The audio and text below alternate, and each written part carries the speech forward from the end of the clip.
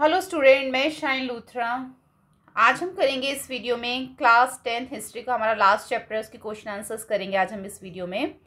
जिसमें सबसे पहले हमें दे रखा है match the following match the following में हमें यहाँ पे जो है मैचिंग करनी है तो फ़र्स्ट है हमारा सूबेदार। सूबेदार जो हमारा मैच होगा, वो है हमारा प्रोविजनल गवर्नर फौजदार जो है अ मुगल मिलिट्री कमांडर इजारदार जो है हमारा, वो रिवेन्यू फार्मर है।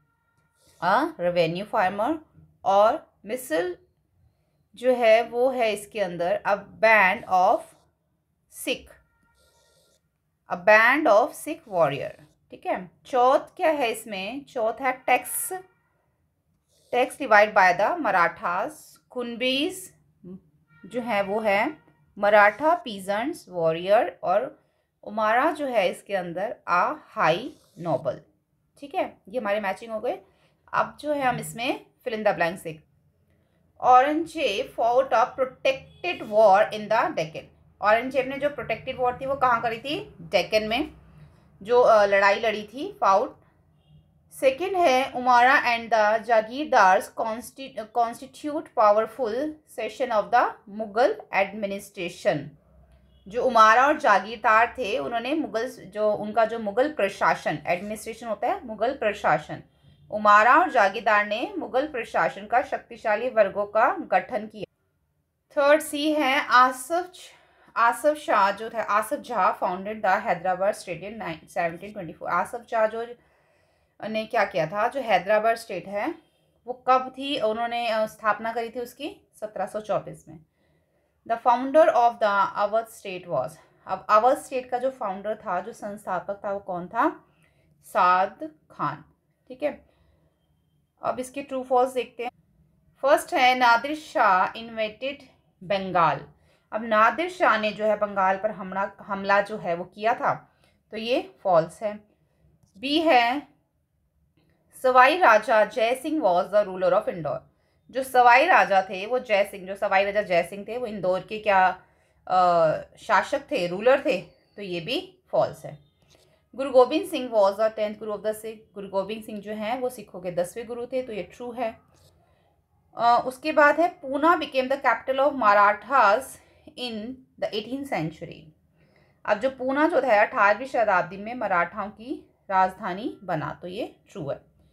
क्वेश्चन नंबर फोर देखते हैं what were the office held by the Saadat Khan अब इसमें देखो सादत ना इस तरीके से लिखा हो तो यही वाली स्पेलिंग हम यहाँ लिखेंगे। यहाँ पे डबल ए आएगा, ठीक है? यहाँ पे एक और सादत। ऐसे लिख लेना आप, ठीक है? ऐसे, कोमा, फिर ए डी ए टी जो ये लिखे हैं सादत खान के स्पेलिंग ये वाली आप लिख लेना। तो यहाँ पे हमारा क्वेश्चन है what were the office held by the Saadat Saadat Khan? अब जो सादत खां हैं, उन सादत खां के पास कौन कौन से जो ऑफ़िस थे, वो हमें बताना। सूबेदारी का, फौजदारी का और दीवानी। ये तीन जो थे उनके पास ऑफ़िस थे। And he was the responsible for managing political military and financial affairs और वो किस चीज़ के जिम्मेदार थे? वो इस चीज़ के भी रिस्पॉन्सिबल थे कि इसके साथ वो क्या क्या मैनेज करेंगे? पॉलिटिकल मिलिट्री और फाइनेंशियल अफेयर्स है, वो भी ये सब देखेंगे। ठीक है, Saadat Khan. Question number five देखते हैं। Why did the Nawab of Awadh and Bengal try to do away with the jagirdari system अब जो अवध और बंगाल के नवाब ने जो है, ये जागीदारी प्रणाली जो है, why did the Nawab of Awadh and Bengal try to away. इस जागीदारी जो प्रणाली से इसको दूर करने का क्यों जो है उन्होंने कोशिश करी, उन्होंने क्यों ट्राई किया? क्या करने का? जागीदारी सिस्टम्स को दूर करने की कोशिश क्यों करी? तो नवाब और Awadh of the Bengal try to away with the jagirdari system because they were suspicious of the this system that they inherited अब जो उनको इनहेरिटेड मतलब जो उनको ये जो हम, हमें जो चीज़ पीछे से, जो हमारी उसमें मिलती है ना, विरासत से जो मिलती है तो उन्हें ये जो प्रणाली थी, उनको ये संदेह था दे वर सस्पिशियस उन्हें इस प्रणाली पर संदेह था कि उन्हें ये विरासत में मिली थी। Their method of tax collection were different they hired revenue farmer to collect the taxes अब उन्होंने क्या करा कि जो टैक्स कलेक्शन का जो मेथड था, जो तरीका था उनका, वो अलग था, ठीक है? उन्होंने जो टैक्स कलेक्शन का जो तरीके थे, वो अलग थे। उन्होंने इसकी जगह क्या करा? उन्होंने जो है किसानों को ही टैक्स इकट्ठा करने के लिए हायर कर लिया, ठीक है? They use practice of the ijaradar rather than the jagirdar. अब उन्होंने जो है क्या करा? वो जागीरदारी के स्थान पर उन्होंने इजारीदार का जो है वो प्रयोग करते थे यूज़ करते थे। ठीक है? They wanted to expand the receive land as a security against loan अब वो क्या वो क्या चाहते थे? वो बढ़ाना चाहते थे। और वो जैसे कोई उनसे लोन लेता था ना तो उसके बदले में सिक्योरिटी के लिए क्या रखते थे? लैंड रखते थे। ठीक है? They knew the loopholes of the system and that how jagirdar become powerful if not check in time they knew the वो क्या जानते थे? वे जो है, उनकी जो लूप पोल्स है, जो उनकी खामियाँ थी उनको जानते थे, उनके सिस्टम के अंदर जो खामियाँ थी, उनको जानते थे and and that how jagirdars become powerful और वो जो ये भी जान, उसके साथ क्या है कि वो कैसे जो जागीरदार इतने पावरफुल बने, कैसे इतने शक्तिशाली हो गए, ये सब की उन्होंने क्या करा? चेक करा इन इन टाइम मतलब अगर उनकी जाँच ना की जाए तो जो जागीरदार होते हैं, वो कैसे जो हैं, इतने शक्तिशाली हो जाते तो उनके जो लूप पोल्स थे, वो जानते थे. इसलिए वो क्या चाहते थे? इसलिए जो है वो अवेदान जागीरदारी सिस्टम को जो है वो दूर करना चाहते थे, ठीक है?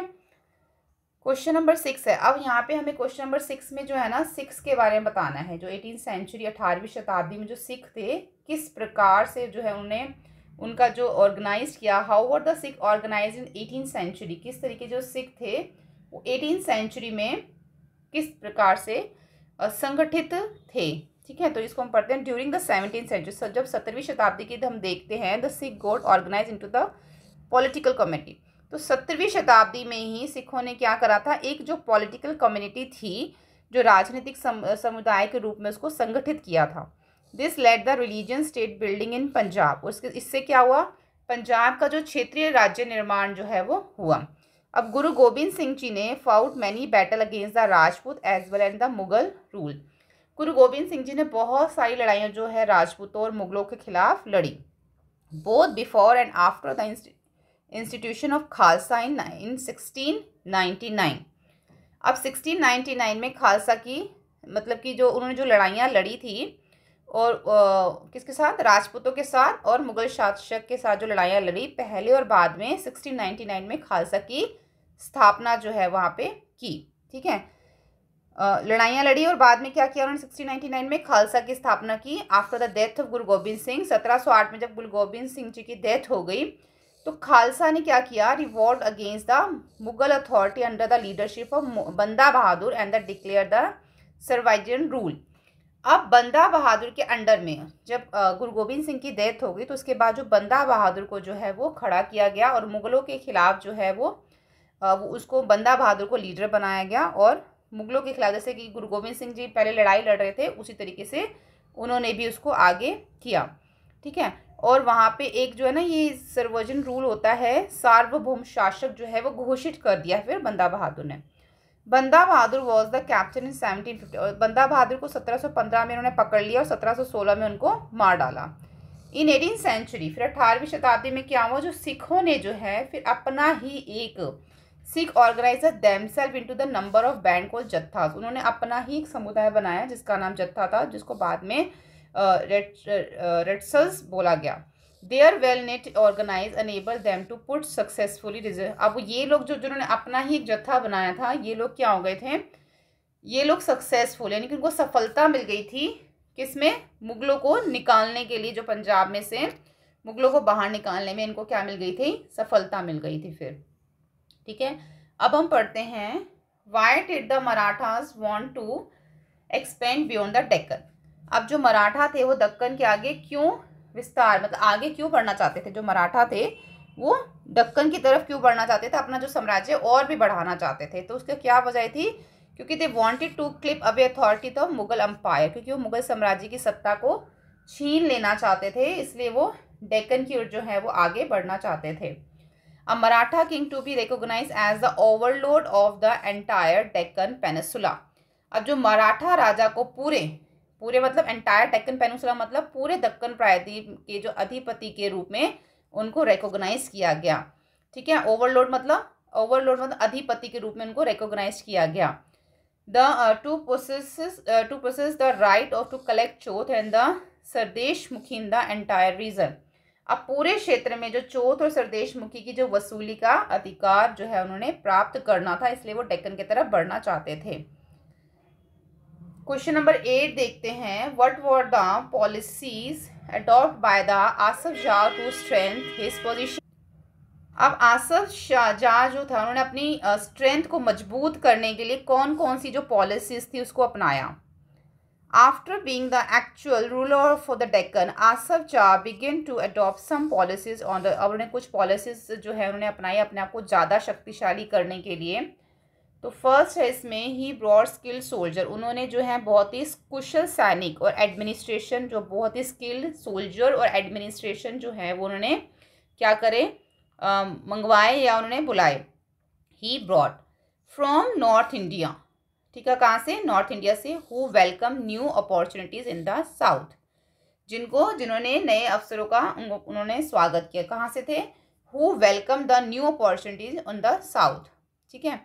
He appointed mansabdar and granted jagir अब उन्होंने क्या करा? मनसबदार और ग्रैंड जागीर जो थे, वो भी अपॉइंट किए। ठीक है? नए, उन्होंने नियुक्त किए। He ruled independently without Mughal interference. The Mughal empire, emperor merely confirmed the decision already taken by Asaf Jha उन्होंने मुगल हस्तक्षेप के बिना ही स्वतंत्र रूप से शासन किया मुगल बादशाह ने जो सिर्फ़ आसफ शाह द्वारा ही अपने जो डिसीज़न थे उनकी पुष्टि की उन्होंने कंफर्म किया किसके द्वारा सिर्फ़ आसफ शाह के द्वारा ही बस यहाँ तक ही मेन क्वेश्चन है, लेकिन एक क्वेश्चन हम ये देख लेते हैं do you think the merchant and the banker today have the kind of influence they had be eighteen century ये इतना इंपॉर्टेंट कोई खास क्वेश्चन नहीं है, लेकिन फिर भी इसमें हम देख लेते हैं। अभी इसमें पूछा गया कि आपको क्या लगता है कि जो आज की जो व्यापारी, देखो आज के जो बैंकर्स हैं, पहले क्या होते थे? मर्चेंट्स होते थे। उसके हिसाब से अगर देखा जाए तो जो उस पर क्या प्रभाव है वो हमें बताना है। कि किस चीज़ से ज़्यादा प्रभावित होते हैं? अगर हम एटीन सेंचुरी की देखें merchants were more influent and the banker eighteen centuries में बैंक से ज़्यादा जो मर्चेंट्स होते थे ना, जो लोन वोन देते थे, पैसे देते थे, लोग उनसे ज़्यादा प्रभावित होते थे। They use to provide more loans opportunity वो क्या करते थे? ज़्यादा जो है लोन अपॉर्चुनिटीज़ देते थे more loan opportunity the high interest और बहुत ज़्यादा इंटरेस्ट भी लेते थे। बट नाउ अब क्या है? With the spread of education people अब एजुकेटेड लोग हैं, क्या प्रेफर करते हैं? बैंक प्रेफर करते हैं। Which provide loan and other financial assistant of cheaper rate और जो बैंक है, वो कम रेट ऑफ़ इंटरेस्ट पे पैसे देता है। लेकिन एटीन सेंचुरी में क्या था? मर्चेंट्स को ज़्यादा प्रभावित थे इन्फ्लुएंस से लेकिन अब किससे हैं? बैंक से हैं। Bankers also provide subsidy to the interest rate they have different scopes of loan for different purposes so they are more influence to today than the merchant अब देखो अलग अलग एजुकेशन लोन अलग हैं होम लोन अलग हैं personal loan अलग हैं तो डिफरेंट डिफरेंट डिफरेंट जो है वो स्कोप्स हो चुके हैं लोन्स की। इसलिए आज के टाइम पे जो है मर्चेंट से ज़्यादा जो है वो बैंक से लोग लोन लेना पसंद करते हैं। ठीक है? हमारे मेन क्वेश्चन जो थे क्वेश्चन नंबर एट तक ही थे तो हमारा चैप्टर और पूरी बुक कंप्लीट हो जाती है। होपफुली आपको हमारी सभी वीडियोज़ जो हेल्पफुल लगी हो। वीडियो हेल्पफुल लगी तो प्लीज़ लाइक शेयर सब्सक्राइब करें। Thank you